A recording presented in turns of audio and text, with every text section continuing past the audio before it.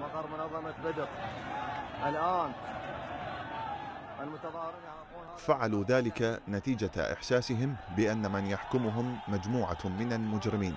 بهذه الكلمات عنونت صحيفة ميدل إيست آي ما يحدث في البصرة من تظاهرات شعبية عارمة بدأت بشكل سلمي منذ شهرين وما زالت رغم كل أساليب القمع الحكومي.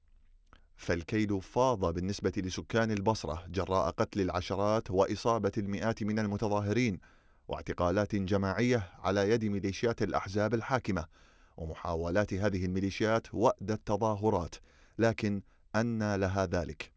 الصحيفة تقول إن البصرة التي تعد شريان العراق ستشهد أمراضا وبائية قاتلة في الفترة القادمة بسبب التلوث والإهمال.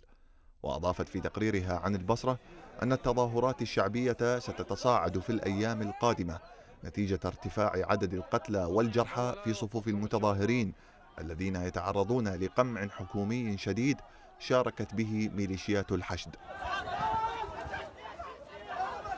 إغلاق ميناء أم قصر البحري وإغلاق عدد من المنافذ الحدودية التي تديرها الأحزاب الحاكمة وإحراق مقرات هذه الأحزاب مؤخرا كان نتيجة طبيعية للإهمال والقمع الحكوميين على مدار الشهرين الماضيين وعدم اتخاذها أي إجراء يذكر لتوفير الكهرباء والحد من تلوث المياه.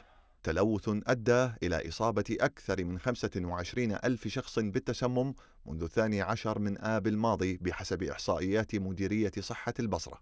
لم يتوقف الأمر عند هذا الحد بل يتحدث متظاهرون عن مخاوفهم من الذهاب إلى المستشفى بالقول إن مرتزقة الأحزاب السياسية موجودون في المستشفيات وهم للمتظاهرين بالمرصاد لإلحاق الأذى بهم.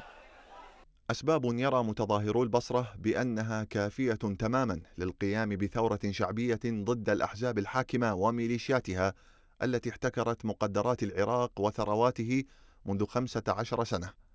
فالحياة مع هذه الثلة الحاكمة أصبحت لا تطاق. هكذا يقول متظاهرو البصرة.